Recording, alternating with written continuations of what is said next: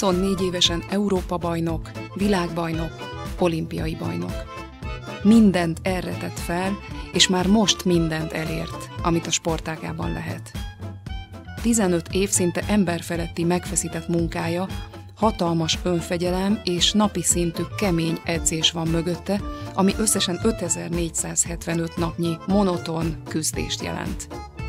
Kopasz Bálint olimpiai bajnokot arról kérdezem, hogy miként tekint vissza a megtett útra, és mik a további tervei.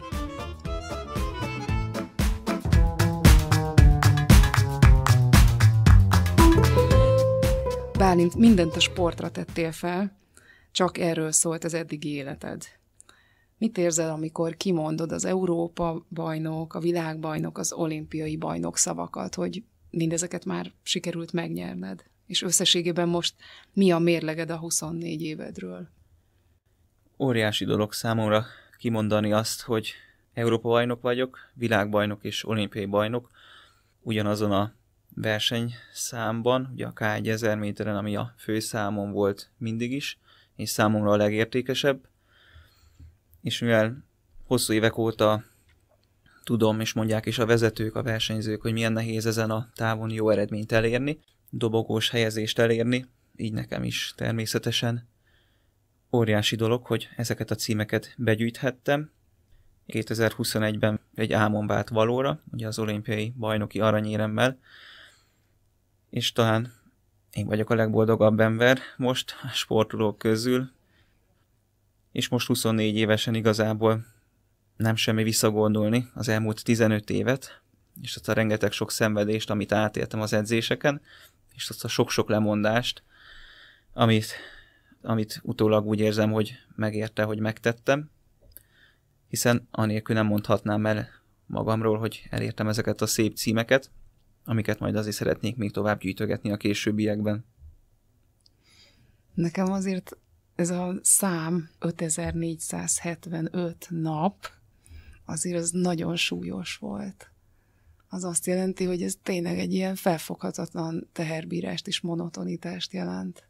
Én ilyen pontosan azért nem számoltam a napokat, de, de tényleg nem semmi átélni minden nap délről délután megcsináljam a kőkemény edzésprogramot, amit az edzőm előír, és ezt éveken keresztül vigyem, tartsam, és megmaradjon az a motiváció, ami ahhoz szükséges, hogy elérjem minden évben azokat az eredményeket, amiket kitűzök magam elé, és amiket szeretnék megvalósítani. Szerencsére nagy részt ugye ez sikerült is az elmúlt években, de főleg amúgy 19, 2019-ben jött el az én idő, azóta nagyon sok felnőtt versenyt tudtam megnyerni, és azóta robbantem be igazából a felnőtt mezőnybe. Minden esetre tényleg nagyon hosszú volt ez a 15 év.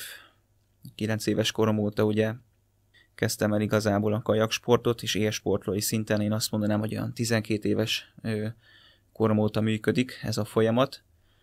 Akkor már 12 évesen már tényleg elég kemény edzéseket vezényelt le anyukám, aki ugye egyben az edző, és azóta tudtam tartani a fent tudtam tartani a motivációmat, és a kemény edzéseket is mindennapos szinten tudtam tartani.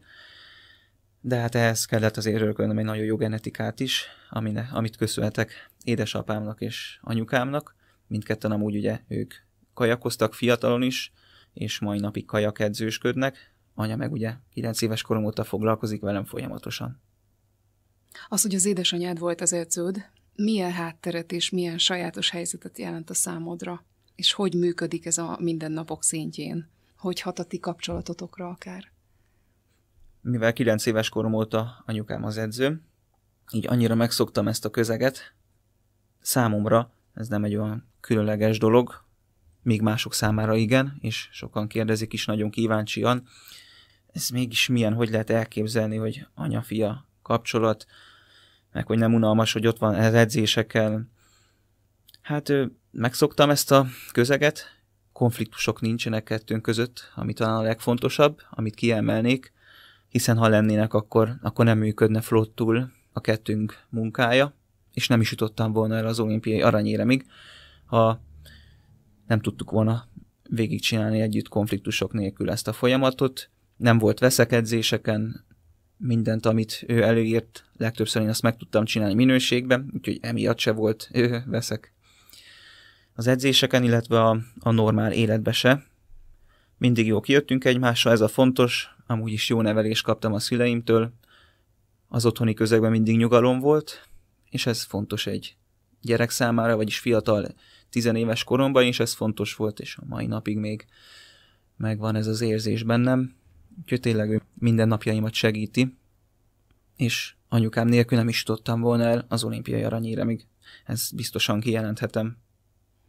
A nyilatkozataidból az érződik, hogy olyan nagyon-nagyon nagy akadályok, akár mentális elakadás, akár elbizonytalanodás, mintha nem lett volna a pályádon, de azért hagyd kérdezzek rá erre, hogy voltak-e ilyenek esetleg, amikor úgy elgondolkoztál, hogy hogyan tovább, és ha sorra vesztük az életed különböző szakaszait, akkor hogyan változtak a nehézségek, hogy küzdötted le őket? 9-12 éves koromig volt egy úgymond könnyebb időszak, hiszen akkor a versenyek nagy részét megnyertem. Ugye akkor ilyen fiatal korosztályban még csak a magyar bajnokságok vannak. Majd olyan 13-tól 16 éves koromig volt egy nehezebb időszak, amit úgymond át kellett vészelnem. Ez idő alatt, három év alatt, hogy a többiek nagyon megindultak a fejlődésbe. Megnőttek, megerősödtek fizikálisan, és igazából nem tudtam felállni a dobogóra a nagy versenyeken de ez nem tántorított el attól, hogy továbbra is folytassam a, a megszokott, jól felépített edzésmunkát, és tudjam, hogy eljön majd az én időm is, amikor megindulok én is a fejlődésbe, hiszen ugye későn típus voltam, csúsztam így három évet, és majd olyan 17 éves koromtól megindult újból az az időszak, amikor elkezdtem újból nyerni a hazai rendezésű versenyeket is, majd ugye következtek a nemzetközi versenyek, ifjúsági reménységek versenye, Európa bajnokság, IFI és igazából 18 éves koromban jött el a, egy olimpiai számban, világbajnokságon K1 1000 méteren nyertem, életem első nagy világversenyét így megnyerhettem, és az elég nagy dolog volt számomra.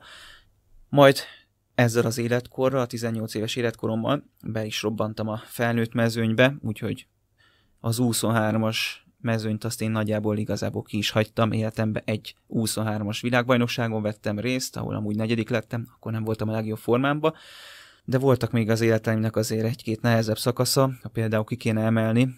2017-ben egy zseniális formába kerültem ki, felnőtt világbajnokságra. Csehországban voltam a világbajnokság, és ott rásett egy hajó a hüvelykujjamra, amin nagyon erősen megrongálódott, és amúgy meg esélyes lettem volna akár versenyelni, ami akkor nagyon nagy érték lett volna, és, és nagyon várták már a vezetők, hogy legyen egy világbajnoki aranyére, K1 1000 méteren, amire már hosszú, hosszú évek óta nem volt példa. És akkor ért engem egy baleset, és igazából azzal a kézzel nagyon senki nem vállalta volna el a versenyzést, hiszen hatalmas adagat, lapátomat nem tudtam megfogni, sírtam is, stb. De nem ment el abból a szempontból a kedvem, hogy úgy döntöttem, megpróbálok elindulni, a versenyen, és így ötödik helyen értem célba, közben meg ott lett volna helyem a dobogó valamelyik fokán, tényleg olyan zseniális formát hoztunk ki az edzőmmel, és hát nyilván rosszul esett, mert már nagyon számítottam arra, hogy akkor akár most nyerhetek is, úgyhogy készültem továbbiakban a 18-as évben, ahol még mindig nem tudtam igazából felállni a dobogó valamelyik fokára, akkor meg nem jött ki a forma, és majd 19-ben megjött az én időm, amikor Európa bajnokságot is nyertem, felnőtt mezőnybe és világbajnokságot is. Hát hatalmas tűrőképességű sportember vagy. Milyen az a belső működés, ami lehetővé tesz egy, egy ilyen teljesítményt mentálisan? Hogy hogyan éreztél rá erre, hogy mikor fedezted fel magadban?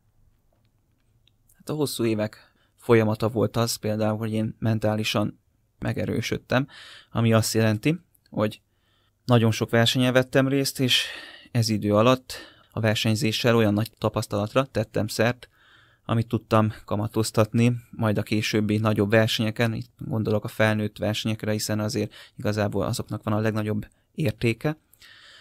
Felnőtt nemzetközi versenyen, világbajnokságon, EB-n és ugye olimpián elérni egy nagyszerű eredményt, ez dobogós helyezést jelent számomra és hogy mentálisan erős legyen az ember, ez azt is jelenti, hogy nem ijedek meg az ellenfeleimtől, nem ijedek meg attól, hogy fizikálisan erősebbek nálam, 20 centivel magasabbak, sokkal nagyobb izontömeg van rajtuk, és amikor beállunk a rajt vonalra, elstartul a verseny, akkor ugye látom, hogy ilyen kolosztus versenyzők ott vannak mellettem, vagyis legalábbis érzékelem, hogy fú, hát akkor ez meg fog verni, meg ott vagyok a 70 pár kilómmal, ami ugye elég kevésnek számít, fizikálisan mindig is amúgy sajnos gyengébb voltam a többihez képest, de ez nem érdekelt engem, és mindig oda tettem magam a versenyeken, nem foglalkoztam azzal, hogy nagyobbak nálam, férfiasabbak, tettem a dolgomat, és hát a táv végére valahogy a legtöbb ellenfélnek elfogyott a ereje, míg nekem nem, és ez mindig megerősített engem fejbe, hogy hát nem baj az, hogy komolyabb szinten vannak fizikálisan, mint én, nem ez számít, és ez tök jó, hogy erre ráébredtem, és ezt azért át tudom majd remélhetőleg adni más fiatal versenyzőknek is, ha éppen nem rendelkeznek olyan fizikai adottságokkal, ami szükséges lehet, ne, vagy úgy gondolják, hogy szükséges ahhoz, hogy jó eredményt érjenek el, hát akkor itt vagyok én a jó példa. Nagyon jó, nagyon jó hallgatni is, nagyon lelkesítő. Uh-huh. Emellett, hogy most azért így a személyes közegedet megismerhettük, mire is, kire is, kikre van szükség egy ilyen fantasztikus eredmény eléréséhez még? Gondolok itt bármilyen más támogatásra. Ez is egy nagyon hosszú folyamat volt. Az évek alatt kialakult egy olyan stáb, nevezhetem így, akik nélkül nem jutottam volna el például az olimpiai arany éremig, ami azt is jelentette, hogy indult a pályafutásom édesanyámmal, hosszú-hosszú évekig ő volt az, az egyedüli, úgymond legnagyobb segítség számomra, a nagy támasz és a támogatom. Aztán, ahogy egyre komolyabb szintre léptem az élsport világába, és megindultak a felnőtt versenyek, nemzetközi versenyek, szükség volt bővíteni a stábot, azon kívül, hogy a család mindig összefogott és segített, vittek versenyekre, megadtak minden támogatást, és ahogy berobbantam a felnőtt mezőnybe, és megindult az igazi nagy karrierem, akkor már szükségét éreztük annak is, hogy meginduljon a szponzoráció, szponzorok felkeresése. Eleinte ez megkezdődött úgy, hogy baráti kapcsolattal jöttek barátok, akik cégvezetők voltak, és majd ők tudtak biztosítani financiális támogatást, amiből tudtam minőségi étkezést biztosítani, vagy éppen olyan vitaminokat, ásványanyagokat beszerezni, amik segítették a sportteljesítményt, sporteszközöket venni, legyen ez szó akár hajóról, lapátról, amire még eleinte nagy szükség volt, ebben is megkaptam a támogatást, és hát egyre több szponzorra tettem szert, ahogy jöttek az eredményeim, és ez nagyon fontos volt számomra, nagy öröm volt számomra, és az is, hogy cserébe én is tudtam azt adni, hogy nagyon szép eredményeket értem el, nemzetközi viszonylatban nézve, és ezzel megerősítettem őket is, hogy igen, volt értelme támogatni engem, úgyhogy ez oda-vissza megy ez a dolog, hogy nem csak kapni szeretek, hanem én megteszek érte mindent, hogyha kapok, akkor vissza is adjak, és ez szerintem máshogy nem is működik, és tényleg egy, egy nagyon nagy támogatói kör és táb alakult ki az elmúlt években, aminek köszönhetően eljutottam az olimpiai aranyéremig. Hogyan tovább? Mi jön most? Terveztük az edzőmmel, hogyha kijutok az olimpiára, és hogyha ott elérek egy dobogós eredményt, de igazából akármilyen eredmény lett volna, hogyha nem aranyérem, akkor is úgy terveztük, hogy mivel 15 éve szinte folyamatosan edzésbe vagyok, és még nem kaptam több hónapos pihenőt, akkor ezt majd most megtesszük. Végeztem szeptember 20-szal a világbajnoksággal, előtte volt ugye az olimpia egy hónappal, és most egy három hónapot pihenek úgy, amire amúgy nem volt lehetőség, nem volt példa az elmúlt években. Úgy pihenek három hónapot, hogy nem ér sportolok, csak szabadidős szinten olyan tevékenységet végzek, ami nekem jól esik, legyen szó biciklizésről, vagy egy rekreációs futásról, vagy túrázás a hegyekben. És ezt most nagyon élvezem, ezt az időszakot, de év végén, vagyis december elején már újból megkezdem a fölkészülésemet de a jövő évre. 2022-ben két nagy verseny lesz majd, egy Európa-bajnokság, meg egy világbajnokság, és erre fogok fölkészülni. Ezen kívül nyilván számos verseny lesz még hazai viszonylatban, még világkupák is lesznek, úgyhogy tényleg sok verseny, ilyen tudok majd részt venni 22-be is, és majd ugye 24-ben lesz az olimpia, ami a következő nagy célkitűzés arra akarok újból majd fölkészülni, és hasonlóan jó formát mutatni, mint itt Tokióban volt, és szeretnék még aranyérmet nyerni, ez a, ez a nagy célom. Hogyan tervezed a távolabbi jövőt?